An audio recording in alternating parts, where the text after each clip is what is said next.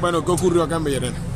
Desafortunadamente, aproximadamente a las 6 y 40 de la tarde, eh, un sicario se acerca a la puerta de una casa, dispara indiscriminadamente al interior en varias ocasiones, causándole la muerte inmediata a dos personas, un adulto y una menor de 4 años, y heridas a otras tres personas que ya están en este momento siendo atendidas en centros hospitalarios.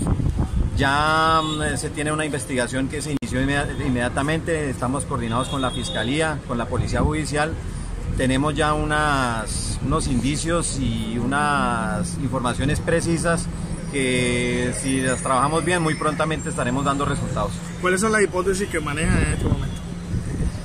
Tenemos, eh, todavía no, no podemos decir porque estaremos aclarando cosas que dañarían la investigación, pero estaremos muy prontamente dando resultados al respecto. Coronel, ¿se habla de armamento pesado en esta No, no, no, fue con, eh, con arma, arma corta. Tenemos, como le digo, ya tenemos unos indicios, ya se sabe más o menos eh, de, de, dónde se generó la situación, por qué se pudo haber dado esta esta, esta medida que tomaron los de la, organización delincuencial que la hizo y ya tenemos indicios claros que dentro de muy pronto estaremos dando resultados.